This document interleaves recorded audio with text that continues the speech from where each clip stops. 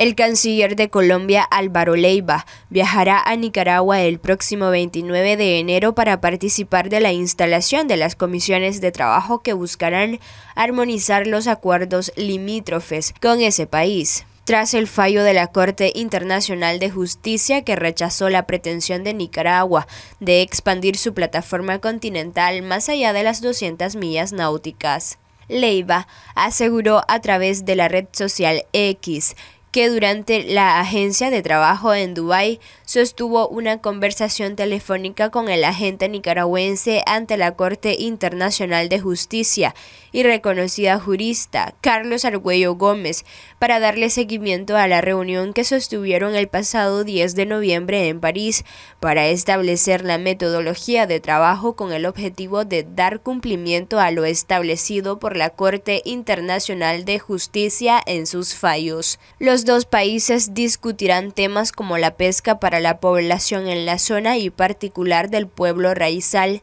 en asuntos ambientales y conservación de la biodiversidad a través del mecanismo idóneo que definan las partes para la demarcación de las áreas indicadas por la Corte,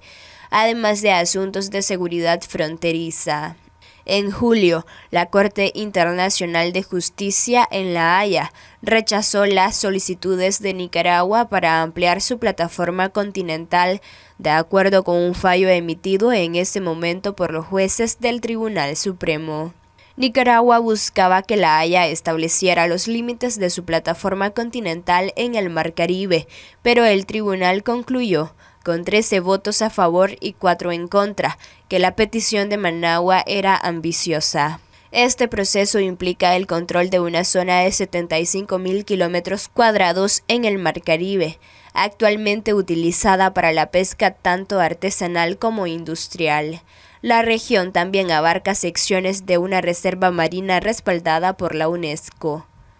Para Noticias 12, Luisa Centeno.